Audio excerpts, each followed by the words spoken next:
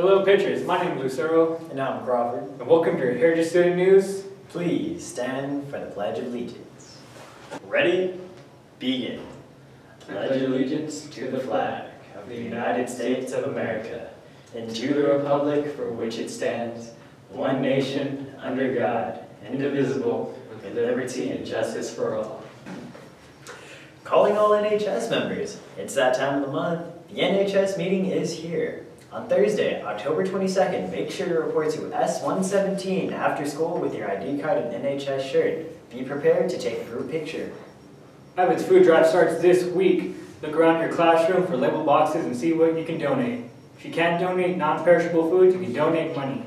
The money you receive will be used to buy turkeys for families in need. Square Pegs is a club for anyone looking for a safe place, identifies as LGBT or as an ally of an LGBT or LGBT person, and they have meetings both lunches on Tuesdays. In first lunch they meet in W102 and in second lunch in L116. All are welcome. Please come. The solar boat team is looking for a few good teammates. Are interested in engineering, building a solar boat, and racing the boat on a lake? Email Miss McPherson or stop by STEM 122 for an application for more information.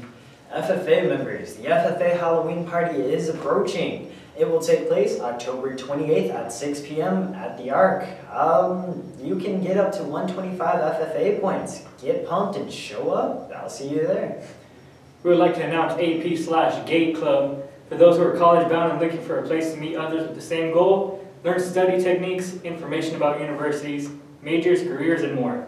Join us for social events. We meet on the second and fourth Monday, every lunch in L103.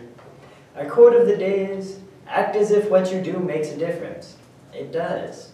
William James. Also, wait, oh. and also pictures. Don't forget Friday is Candy Cane Friday, so we're red and white. You almost forgot that. I almost forgot. Also, do not forget the game that is after Candy Cane Friday. Support the football team, and the dance is the following day, of course. All right, Patriots, thank you for tuning in. Have a great day.